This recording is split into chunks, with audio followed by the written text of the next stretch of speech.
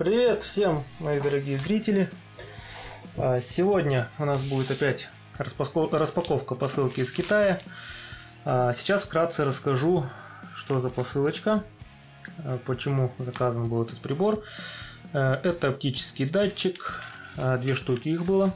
Я их парочку заказал, одну уже распаковал, подсоединил, чтобы показать, что все работает. До этого у меня был выпуск видео о том, как переделать э, зажигание сонарик под оптический датчик для мотоцикла ИШ для электронного зажигания. Вы это помните. Один зритель мне посоветовал очень такую неплохую штуку. Говорит, в Китае есть более компактные модули. А, я попросил у него ссылочку, он мне любезно предоставил, после чего я заказал парочку таких датчиков. Вот так вот они выглядят. Вот так вот упакованы. Один я уже распаковал, как я вам говорил ранее. Вот такой вот он маленький. Маленький, но удаленький. Щелевой оптический датчик стоит. Тут видим два светодиода. И 4 контакта. То есть э, питание сверху вниз. Питание плюс подается, минус и выход датчика то есть более высокий, более низкий уровень. вот. Один я уже припаял провода. Сразу хочу сказать, что довольно выносливые датчики. Я подавал сюда до 19 вольт, он работает. Единственное, что э, микросхемка сильно греется.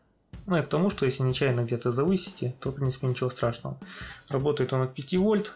А сейчас я подам 5 вольт.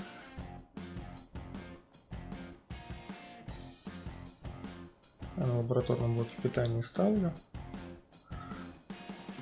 5,1. Вот, видим, два светодиода горят. А теперь нам надо чем-нибудь прервать световой поток. А сейчас я возьму бумажку.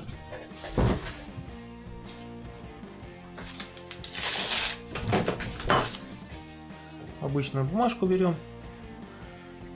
и смотрим.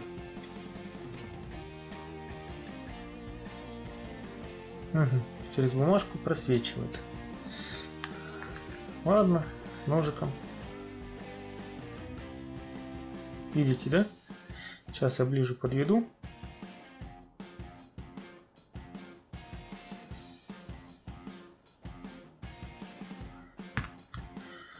Попробуем без подсветки. Вот сейчас без подсветки включу.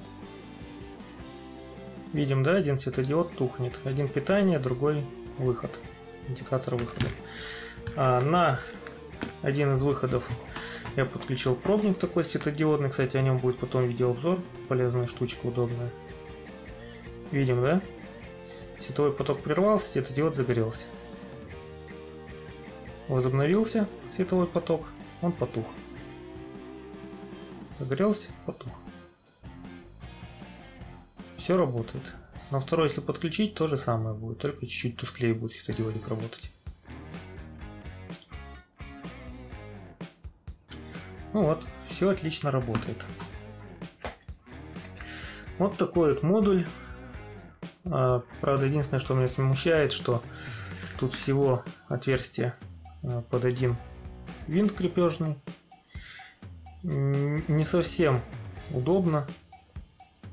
Э, в том плане, если учесть, что я их буду применять на мотоцикл.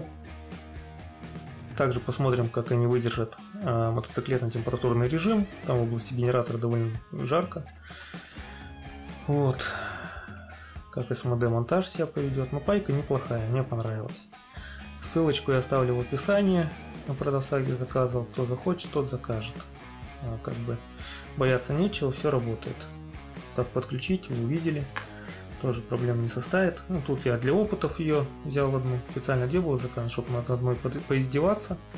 До 19 вольт подал, вот она рабочая. А вторую уже где-нибудь применю. Разъемчик не буду ставить. А, буду выпаивать вот эти контакты и подсоединять провода. Потому что разъем месте, где вибрация довольно неплохая, не самый лучший вариант. Вот так. А на этом пока все. Я благодарю вас за внимание.